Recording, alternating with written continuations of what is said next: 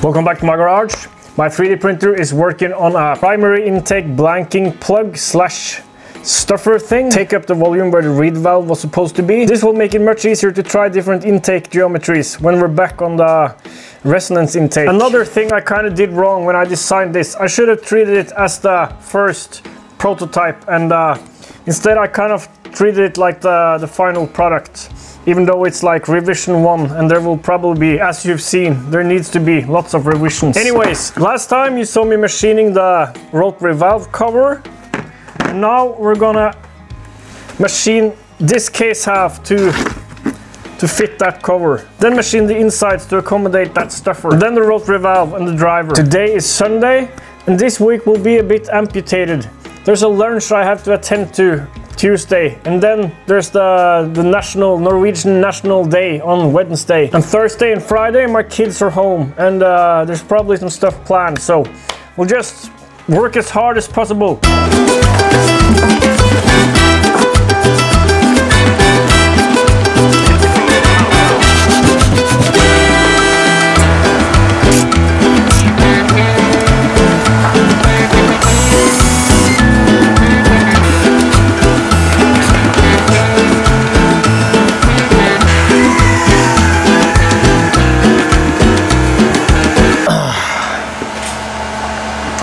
That really clever idea I had of a stub sitting in the seal, sealing the bearing.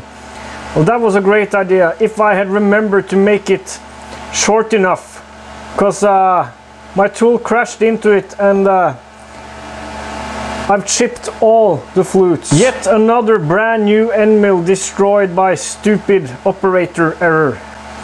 Hooray!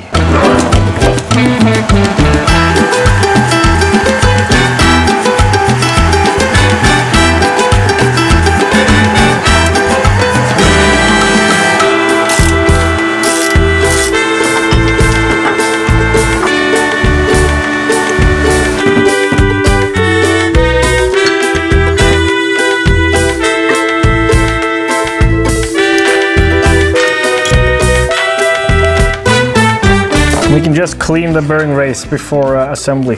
Here's the combined stuffer and placeholder for the reed valve. It's supposed to sit here. We'll need to make some uh, clearance. So that's the next operation.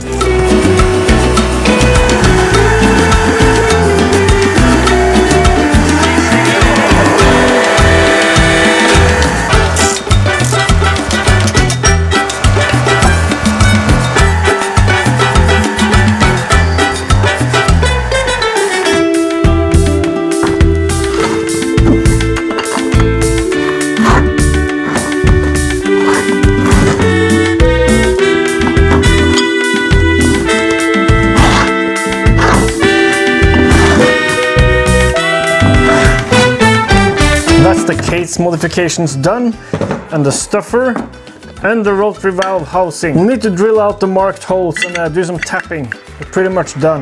You already know I'm a huge fan of NordVPN's VPN service and I'm also really thankful they've been my partner for so long, helping my channel out, helping me do this. In short, NordVPN creates an encrypted tunnel for your data to travel in so you can browse the internet safely without people spying you and stealing your stuff like credit card information and stuff like that. There's a huge bonus besides that though and that's the reason I'm using NordVPN services. That's how NordVPN lets you pretend to be from wherever you want. So I'm in Norway. I can easily appear to be from Montreal if I want to just with a click of a button. This comes in real handy for ordering cheaper plane tickets, playing games not available in your country or available at home but not where you're traveling to, watching movies, series not available where you're currently at.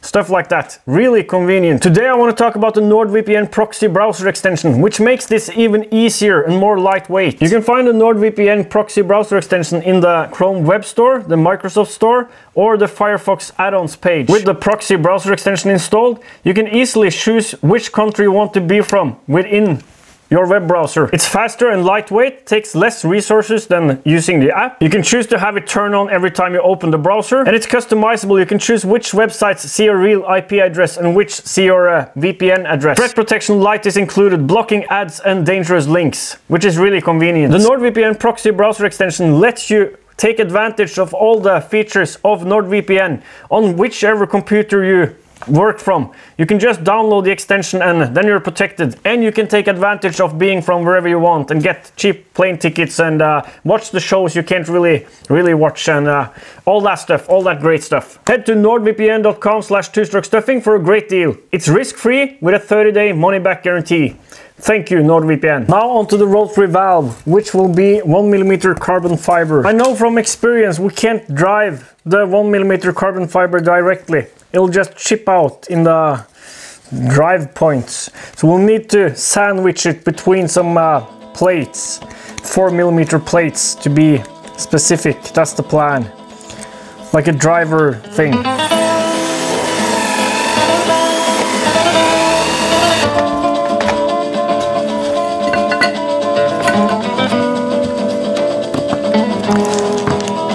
I'll need to pick up some countersunk head bolts tomorrow that'll fit to go clear off the rotary valve.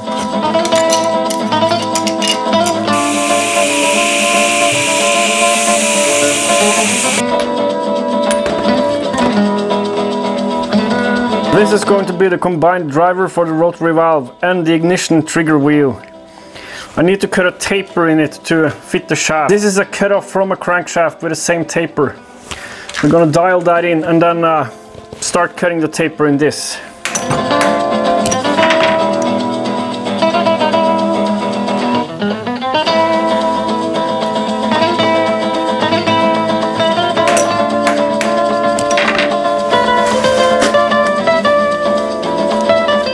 I'm not sure how much you can see of that, but it's uh, pretty much spot on now.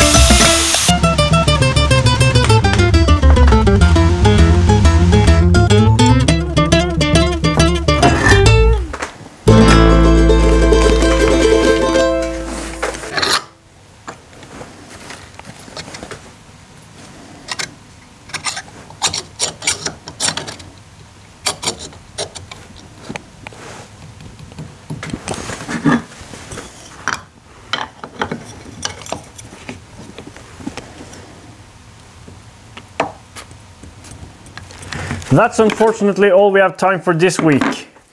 We're missing uh, drilling some holes and uh, getting some seals and uh, a new belt. And we're ready. My expectations are higher than ever this time. See you next time.